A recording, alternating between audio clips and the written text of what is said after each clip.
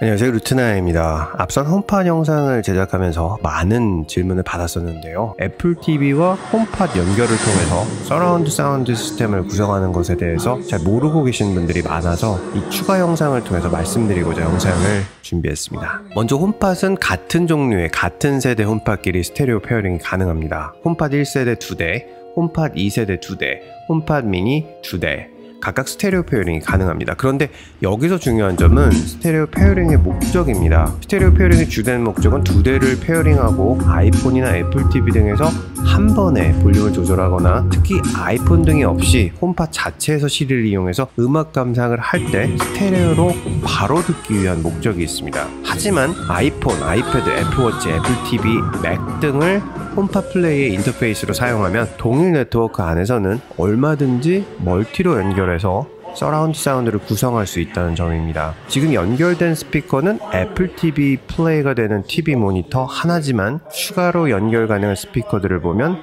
홈팟 한 대, 홈팟 미니 두 대, 온도 조절기에 있는 스피커 한 대, 맥북 프로 한 대로 연결해 보았습니다. 본인이 원하는 대로 원하는 만큼의 스피커를 원하는 장소에 두고 아이폰, 애플워치, 애플 TV 등을 이용해서 사운드 볼륨 조정이 가능하고 스피커들이 위치하고 있는 방을 동일하게 홈앱에서 잡아주는 경우 모든 스피커의 볼륨을 한 번에 컨트롤할 수도 있습니다. 이렇게 쉽고 편하게 연결하고 사운드를 조정할 수 있는 시스템을 제공하는 것은 애플이 유일합니다. 그 이유는 바로 애플 의 에어플레이 기술이 뒷받침하고 있기 때문인데요. 애플 TV를 아이폰으로 리모 리모컨 조정이 가능하게 하고 무선으로 프린팅을 가능하게 하고 서라운드 사운드 시스템을 쉽게 설치, 조정할 수 있게 만들어주는 애플의 핵심 무선 기술 에어플레이는 20년 동안 애플 기기들을 편리하게 만들어주고 있는 핵심 기술입니다. 최근에는 에어플레이를 지원하는 프린터나 스피커들이 많이 나왔기 때문에 해당 제품을 구매하시면 동일 네트워크에서 바로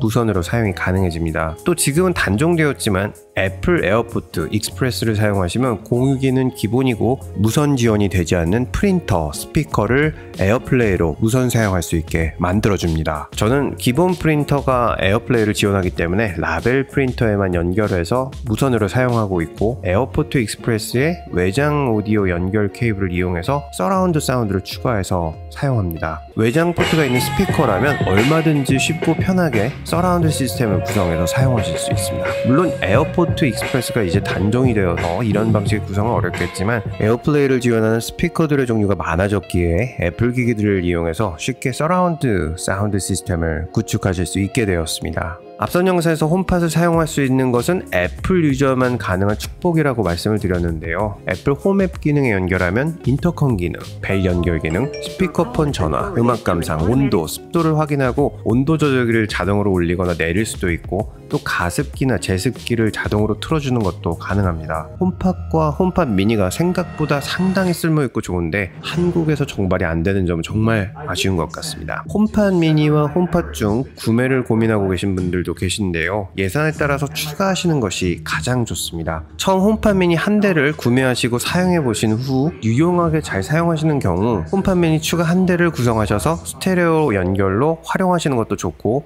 또 나중에 여유가 되면 HomePod을 추가해서 서라운드 시스템으로 이용해 보시는 것도 좋을 것 같습니다. HomePod이 블루투스 무선 스피커처럼 휴대하는 것은 아무래도 무리가 있겠지만 뒷마당 같은 야외에서도 HomePod mini 한 대만으로도 충분히 듣기 좋은 소리를 내줄 수 있기에 전원 연결이 용이한 곳에 파티용으로도 추천을 드리고 싶습니다. 영상 시청해주셔서 감사드립니다. 보스턴에서 루트나인이었습니다.